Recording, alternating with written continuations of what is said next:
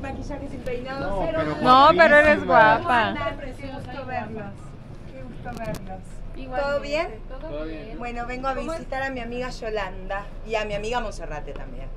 Y a presentarles mi libro Sobreviviente. Ah, sí, de, de hecho, pues de este episodio, ¿no? Que viviste contra, Sí. contra la, la lucha contra el cáncer. Platícanos un poquito más de este proyecto, Lore. Bueno, es un libro que me invitaron a escribir, la editorial Penguin Random House en Colombia, y lo escribí eh, con todo mi amor, con toda mi honestidad. Hablé sobre mi vida, mi profesión, sobre mis amores, sobre muchas cositas. Sobre México, tengo un capítulo dedicado a México, que es un país que amo profundamente, y un, país, eh, un capítulo dedicado a Colombia, y bueno, al cáncer, a todo lo, a todo lo que pude, gracias a Dios, superar.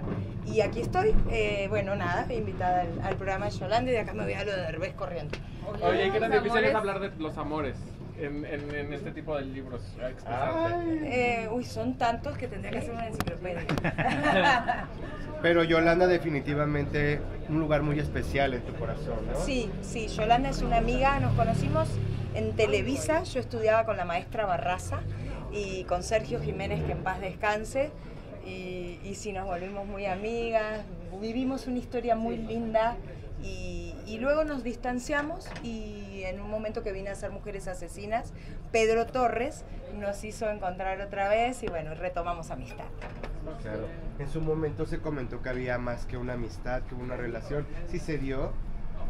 Nos queremos un montón y yo la quiero un montón y creo que también está bueno tener intimidad, ¿no? Hay cosas que es mejor dejar las puertas para adentro. Yo lo que te puedo decir es que Yolanda es un ser humano que quiero mucho. Conozco a su mamá, conozco a su hermana, conocí a su hermano, a sus amigos, compartimos un montón y que siempre va a tener un lugar muy especial en mi corazón. Es- la estás- quiero como persona, Claro. como ser humano. Ahora que estás más cerca, tal vez poder apoyarla, porque se ha visto muy malita y el amor todo lo puede. No, y la estoy apoyando hace rato, desde lejos, eh, le he mandado mensajes con Marilé cuando estaba con sus estudios, estuve muy al pendiente desde Argentina, después desde Colombia, eh, he estado todo el tiempo, o sea, uno no necesita publicar para que las cosas se- sean, yo estoy... eh, sin, sin publicar tanto, he estado acompañándola en todo este proceso. Lo que quiero es abrazarla, porque todavía no, no la he podido ver personalmente, que la voy a ver ahorita. Oye, Lore, y este proceso por el que también atravesó Yolanda con este tema de Verónica Castro, ¿tú pudiste apoyarla como amiga, no? Porque ya ves que tuvo ahí como cierto distanciamiento con Vero Castro. Ay, no, la verdad que los procesos y la- lo que le pase a la gente con otra gente siento que yo debo respetar. No sé mucho qué pasó, pero pues la señora Verónica para mí es una de las grandes estrellas de este país que se merece todo mi reconocimiento como actriz, como persona, todo mi apoyo.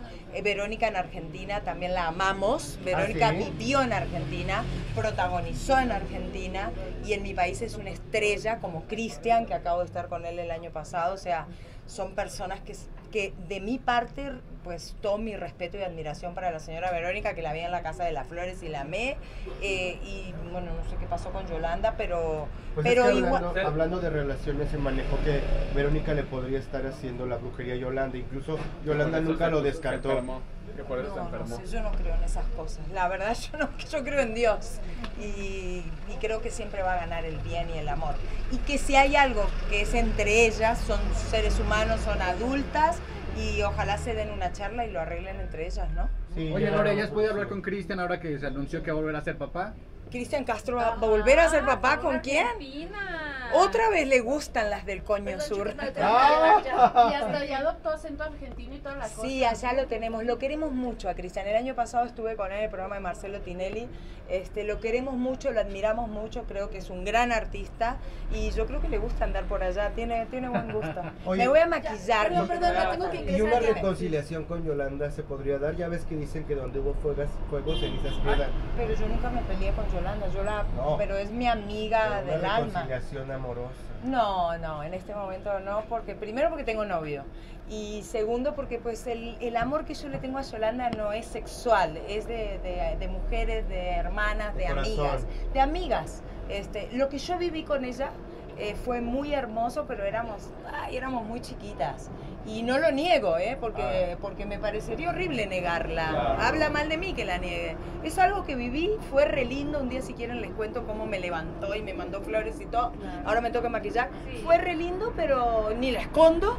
Pero hoy estoy en otra etapa de mi vida. Y me encanta venirla a ver como amiga, como compañera y abrazarla. Se vivió la Muchas experiencia, se superó. Y estuvo a todo dar. Los quiero mucho. ¿Tenemos en novela o algo? Eh, proyectos en México, si Dios quiere ya les contaré. Eso, Gracias. gracias. Igualmente, gracias. Gracias.